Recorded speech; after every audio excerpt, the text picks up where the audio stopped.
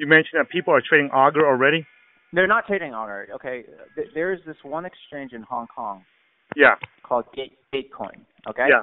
So it's That's a it's a it's a notable uh, exchange, right? It's a pretty big exchange. Yeah. It's Yeah, it's been Hong around. Right? Yeah. Yeah, it's been around. Um, but uh, okay, so Augur hasn't launched yet. There's no Augur yet. No. Okay? No. Uh, but what they've done was um, they've gotten a bunch of people that they trust. Okay. Yeah. Um, to hand over their private keys Okay. to the exchange. Okay. Yeah.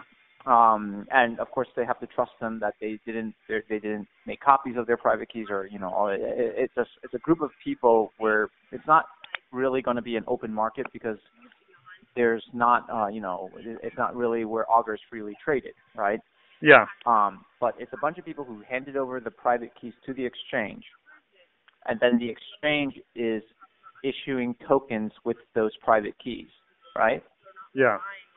and then they're they're making like they're making a market in Augur, right? Yeah. Because you can deposit coins and then you can start placing bids and asks, and they're letting they're trading Augur, even though it's not has, hasn't launched yet. Yeah. right? And they've been So doing it so, for so several this months. so this is a uh, it's kind of like a proxy.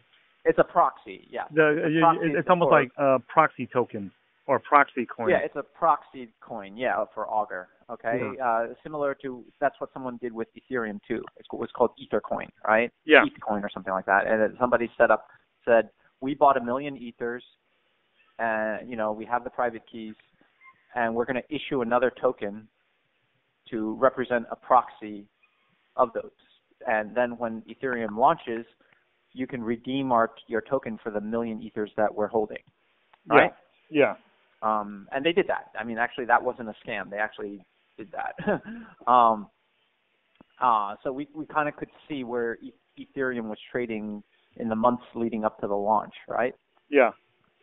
um so the same thing's happening to augur right and i saw it trading at like 10 bucks i mean you can go to gatecoin and see it's it's around 10 bucks Okay. Okay. So that means that uh, Uh, more than likely when they start trading Augur, um, that we can expect it to be gonna- ru- roughly around that price point.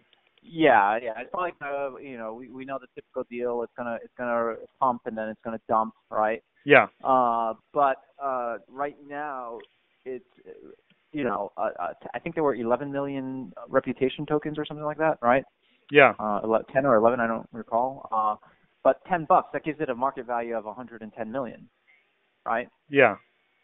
And uh, they only raised they bought in at a 5.3 million valuation, right? Yeah. So that's a 20 times return right there.